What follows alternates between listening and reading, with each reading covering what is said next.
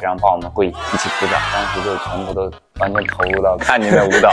我以为你要说 跳的一般，没有没有没有没有没有没有。过奖了过奖。然后我们进行下一个环节怎么样？好，下一个环节叫做随机行动吧。您随机选一个彩笔，画一幅自画像。在画的同时呢，我会进行快问快答。选一个这个颜色吧，天蓝，太考验我的绘画能力了。相信您。第一个问题，最近老师还是处在一个被厨房拿捏的大状态吗？我觉得我上一次进厨房，真的就是上一次的事情了。那下次想挑战什么菜系？嗯。我想挑战粤式版。X Form 里面成员有谁的厨艺比较好呢？感觉应该小莲的厨艺会比较好吧。之前好几次做饭都是他负责做饭，然后我们负责吃。第二个问题，最近有经历过就死瞬间吗？就是你们看到我手上的这一幅画 的话，一般什么情况下你作为编舞师的 DNA 最容易被唤醒？我感觉就是听到一首非常打动自己的音乐的时候吧。对。下一个问题是，看你微博上次惜败给小狮的保龄球比赛，就是那个 vlog。嗯。呃，你觉得和？X Form 哪位成员打保龄球是稳赢的？是孙一航吧？我感觉他应该会被保龄球给扔出去。好，刘老师，那我们现场连线一下下一个挑战书吧。要跟他说，我要跟你下次 battle 保龄球，看他会不会接我的电话。所以上次那个 Vlog 里面那个工作人员真的很厉害，指甲都劈了。你说他厉不厉害？你在搞什么？你在搞什么？这是他铃声，不要误会。喂，你在干嘛？你还在剪头发吗？我还正准备去呢，我还没去呢。所以你是起晚了是吧？没有，本来就就三点多去。骗人！你还跟我说五点要来公司，真的要来？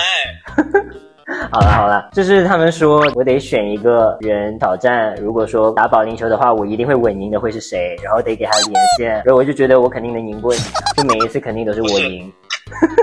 不是你打电话过来杀人诛心的是吧？你你会打保龄球吗？呀，我就问你会打保龄球吗？我会打呀，我当然会打。是那个你上一次打是什么时候？两三年前，三四年前吧。那我觉得可能跟我差不多了，不想想，因为我感觉应该是那种被保龄球扔出去的人。太过分了！我跟你讲，我今天不去公司了，我太伤心了，我已经被你伤到了。嗯，你就跟忽悠的朋友们打个招呼吧。孙一航，我就是这里面最帅、最有才华的人，请大家记住我哦。好，后面的不用听。什么意思？刚刚还杀人诛心呢。你赶紧去剪头发，待待会来公司再再见，拜拜，拜拜，待会见。嗯嗯，我挂了，三二一，拜拜。好，我们继续，请刘老师想象一下十年之后的自己是什么样子。嗯。感觉应该是完全不一样的自己了吧？毕竟人生没有多少个十年，这个是十年。上一次看红片是什么时候？八百年前的事情了吧？我感觉。百年前。那如何才能说服你跟你一起去？当然有可能不是。至今为止没有任何一个人能够成功说服我去。是吗？我觉得，免谈，肯定是没办法的。给你一百亿，你给我一百亿去吗？一百的话不去，但是你如果让我选，就是蹦极或者是鬼屋的话，我可能会选择去鬼屋。哦，我实在是接受不了蹦极，我怕我跳了之后。我拿不到这个一百，我已经没有命。你是一个容易获得成就感的人吗？我觉得我是。分享一下最近的高光时刻。最近的高光时刻，我觉得是编《起风了》的时候，就是编完之后，哦，就有一种自己被自己感动到的感觉。就我有的时候会编到一个点，突然哪一个动作觉得哇，这个太合适了，然后就突然把自己给打动到。知道刘老师测过 MBTI，呃，INFJ 提倡者。我们这边呢也准备了几张不同人格的表情包。看你能不能选出来你对应的人格哦。第一个，解决破事的方法，生活中所有的破事，健忘，还挺像的，是吗？第二个，遇到崩溃、委屈、气愤的事，编辑朋友圈，算了，还是不发了。好像不太像的样子。哦，我感觉我是这样的。哦，你是这样的吗？对，就是有的时候会因为懒，让我听一听。摸鱼人的话，偷懒的意思是吗？嗯，那肯定不是。下一个呢？好，我今天就来整理一下房间。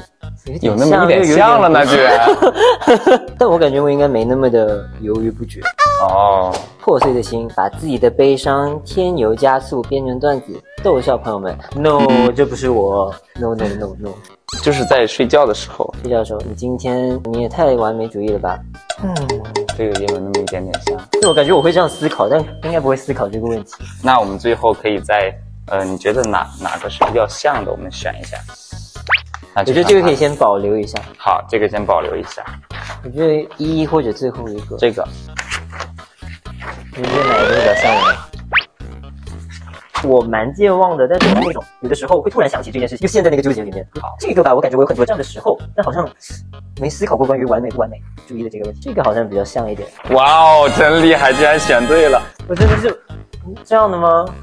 就在你们眼中我是完美主义，我感觉我可能以前是，但是现在我有点说不上来，就到底什么样子才是叫完美的？就可能做任何一件事情都觉得一定要把它做到最好，因为我以前的想法可能会是觉得所有的事情一定要做到完美，但是现在的话，我好像做自己比比做做的完美好像更重要一些。对对对对。还有最后一个问题，分享你最近单曲循环那首歌？想见你想见你想见你，可以清唱一下吗？